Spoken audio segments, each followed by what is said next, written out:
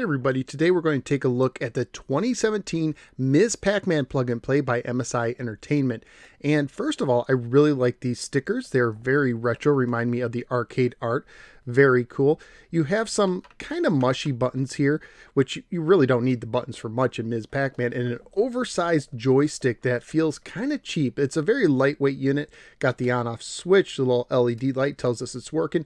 It runs on three AAA batteries, and you have your standard RCA uh, cables with the mono out. So let's go ahead and take Ms. Pac-Man, plug it in my TV, and see how it holds up today. Let's go to the game.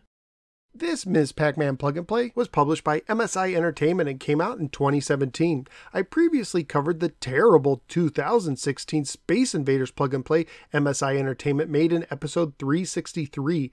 The Space Invaders Plug and Play only had one game, Space Invaders, and it wasn't the arcade version, but rather the poor Famicom version instead. We have a similar situation here. This Ms. Pac-Man Plug and Play only has one game, Ms. Pac-Man, and once again, it's not the arcade version, but rather rather the 1993 version Namco made for the NES. But does it fare any better than the Space Invaders plug and play? Let's find out. According to the manual, the objective of the game is to have fun and survive as long as possible while constantly improving your skills and eating as many dots, fruits, pretzels, energizer dots, and eliminating as many ghosts as you can. There are two modes of play arcade, which is supposed to simulate the arcade difficulty, and hard, which is supposed to be even tougher. This is a little confusing, as in some games, the arcade difficulty is used for the hard difficulty, so in this game, you kind of have two different hard difficulties.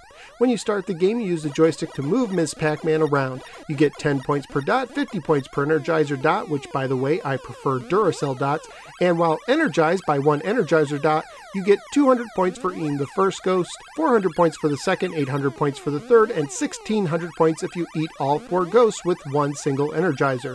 You also get 100 points for eating cherries, 200 points for strawberries, 500 points for oranges, 700 points for pretzels, 1,000 points for apples, 2,000 points for pears, and 5,000 points for bananas. Get 10,000 points and you earn an extra life. Clear the maze of all the dots and you move on to a new maze, sometimes with more valuable bonus fruits and pretzels to eat. Clear enough mazes and you'll get to see a cutscene. Lose all your lives and your game is over without an option to continue. Graphically speaking, for an NES game, I think this is a nice looking version of Ms. Pac-Man. Sound and music wise, the game does a good job as well. Family friendly wise, even though this plug and play wasn't rated, it's worthy of an E for everyone rating. Currently, this retails for about 20 to $25 in places like Walmart, Toys R Us, and Amazon. So what do I think of the Ms. Pac-Man TV game plug and play by MSI? Well, at least they picked a better version of the game than they did with Space Invaders, but I still think it's crazy to charge $20 for a single game and not even bother to try to use the arcade version instead of an 8 bit version. And while this version of the game is not bad by itself, this cheap controller really brings it down. Usually, when I play Ms. Pac Man, when I die, it's because of me, but the vast majority of the times I died in this version, it was because of the joystick not responding to a turn I wanted to do. A game like Ms. Pac Man needs a precision controller, and this cheap joystick is anything but, really taken away from a decent version of the game.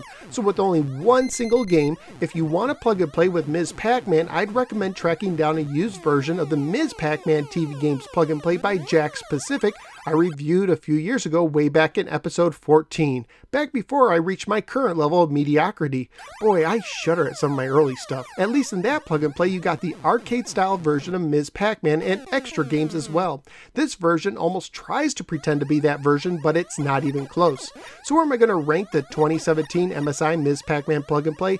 Pretty low. I will say it is better than their Space Invaders plug and play, but that's it. To me, the joystick is so bad I'd rather play some poker or free cell on the poor casino plug and play at 23. And that system isn't anything special either. So of the 25 plug and plays I've now ranked, the MSI Ms. Pac-Man is ending in the 24 position after trying to turn out of it but failed to do so. Please, please MSI stop releasing plug and plays that contain only one inferior port of a game housed in a low quality joystick. At least that's what I think. What do you think? Let me know in the comments below. Also, please click like and subscribe and follow me both on the Facebook and the Twitter. I'm also a member of the Retro Junkies Network. At this time, I'd like to thank all my extraordinary Patreon supporters, including Richard. Thank you, Richard. If you'd like to support the show and gain access to exclusive content, you could do so by signing up at patreon.com slash gamer. Thank you for giving me a little part of your day, and I look forward to seeing you next time on the next episode of the No Gamer. Take care and go play a good version of Ms. Pac Man, which compared to this one would be just about any version. Even give me the fun Atari 2600 version, as long as I can play it with a real joystick. Or a Sega Genesis controller. That'll work too.